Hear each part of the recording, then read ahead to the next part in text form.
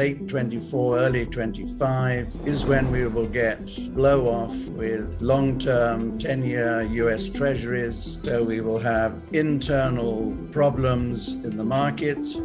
At the same time, the war intensifying. So that will lead us into, frankly, a depression, which will be similar to what was experienced in 2932.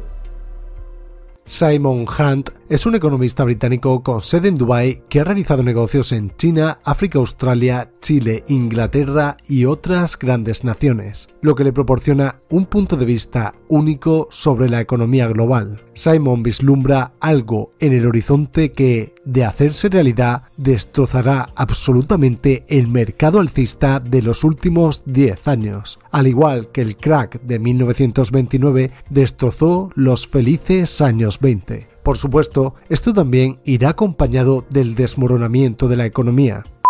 Me gustaría profundizar en sus teorías y así podremos juzgar por nosotros mismos qué tan probable creemos que es que esto realmente ocurra.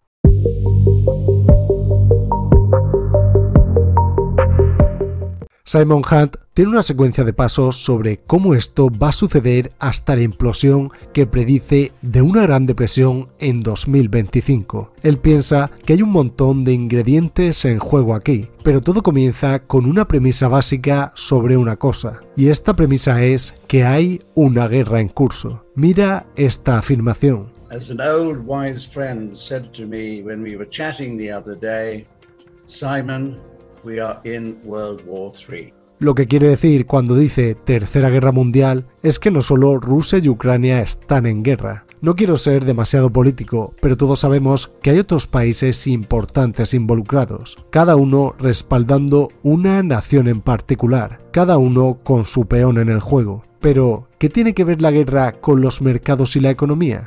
Hunt dice que la Fed, el poder central clave de los mercados y la economía, tendrá que revisar sus políticas para tener en cuenta esta guerra. Central banks will be will have to look at the consequences of war policy making. Así que en este momento la Fed está haciendo lo que se llama un ajuste cuantitativo, contrayendo el dinero y sacándolo del sistema. Han piensa que pronto esta política cambiará, no solo debido a la guerra, sino también por lo que él dice que serán algunos accidentes que ocurrirán en los mercados financieros, ya sea porque los bancos continúen fallando o que haya un colapso del mercado de valores. Él piensa que esta será la excusa para que la Fed haga un giro y vuelva a la flexibilización cuantitativa. Por si no lo recuerdas, la flexibilización cuantitativa es la manera en que la Fed inyecta dinero al sistema en lugar de sacarlo, con la única intención de hacer que todo sobreviva.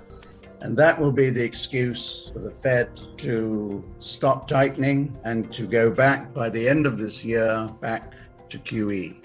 La flexibilización cuantitativa también tendrá sus efectos secundarios. Después de esta corrección a corto plazo en los mercados financieros, Hunt predice que las acciones volverán a dispararse hasta 2025 con el cambio que habría hecho la Fed hacia la flexibilización cuantitativa. Y si volvemos a la flexibilización cuantitativa, esto supondrá que el exceso de efectivo encontrará su camino en el mercado impulsándolo a máximos históricos. I think I heard you say that, that stocks and commodities will hit new highs during that period, Correct. probably because Correct. of all the liquidity Correct. and Correct. Yeah. All right, but then So you so basically, we get basically in, in, in very broad numbers, the S&P will double in value.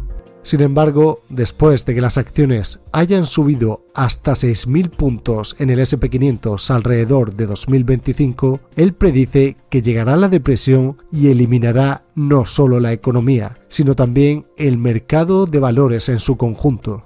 over the next couple years goes up to Correct. six thousand, right? Yeah.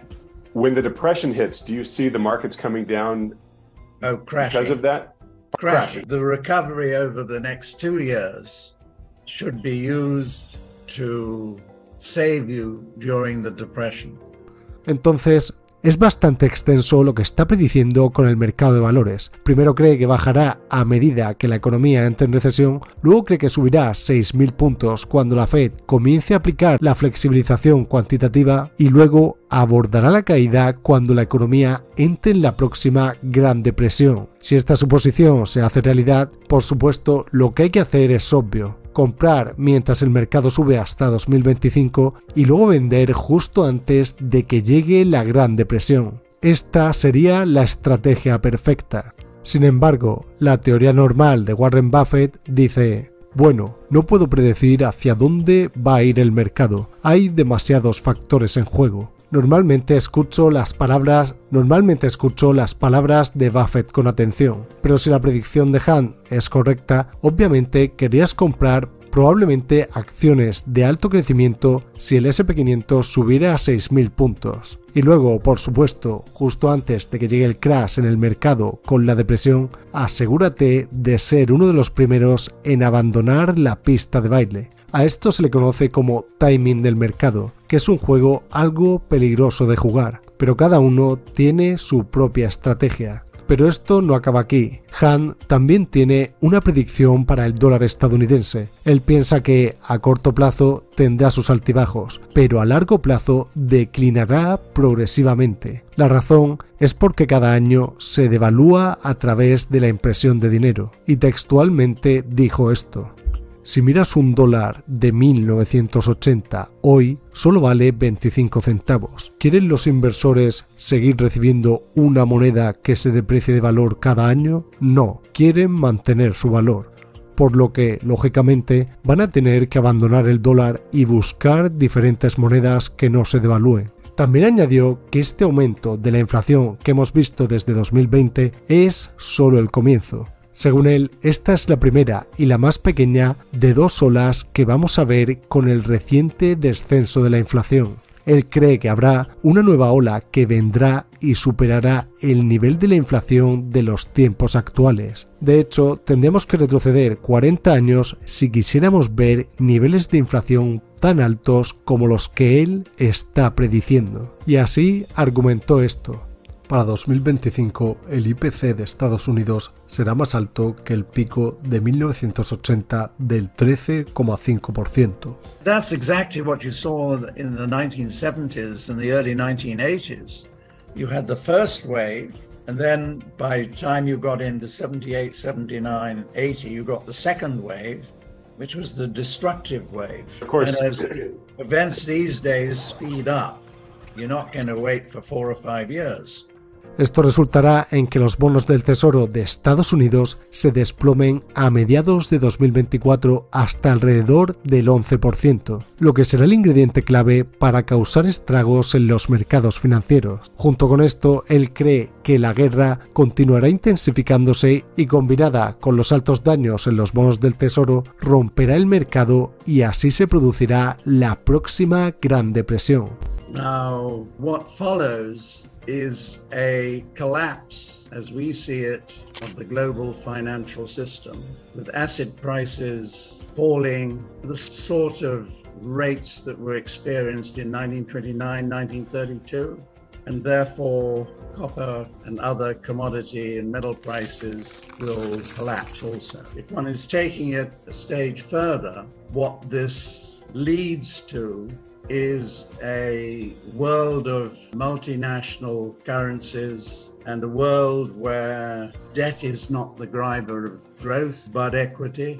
Y además de toda esta predicción de una gran depresión, añade un ingrediente más a la ecuación. Él habla sobre el ciclo de Glisberg. El ciclo de Glisberg está programado para llegar alrededor de 2025. La última vez que este ciclo golpeó en 1936 lo llamaron la década de Dust Bowl y ahora entenderá su importancia. One of the meteorologists that I follow who's been very accurate showing that in 24-25 we get the 90 year Gleisberg cycle coming in. And the last time we saw that in the 1930s was when we had the Dust Bowl.